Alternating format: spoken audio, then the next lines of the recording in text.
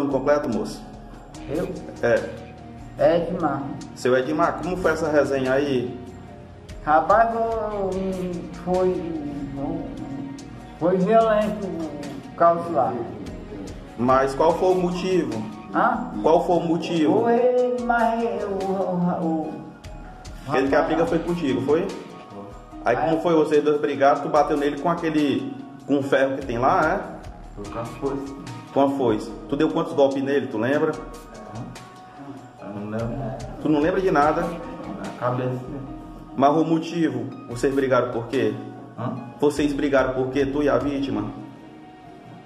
Mas meu time, o time. Pois é, o teu tio, qual foi o motivo da briga? Hã? Qual foi o motivo? Só brincando, né? Brincando. Matou brincando. Rapaz. E ele aqui com a participação dele?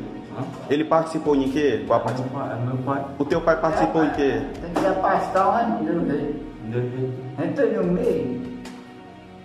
Aí depois, rapaz, deixa essas brincadeiras aí. Eu pensei que era uma brincadeira. É, é brincando. Ele Mas- Tá, ele tá Aí- no sério mesmo. Tá no sério. Mas ele te cortou ou não? Eu cortei. Foi tu que cortou ele, né? Tenente, como é que se deu aí a prisão desses dois rapazes? É, gente foi comunicado na companhia que já conseguiu esse homicídio lá na localidade de Videl.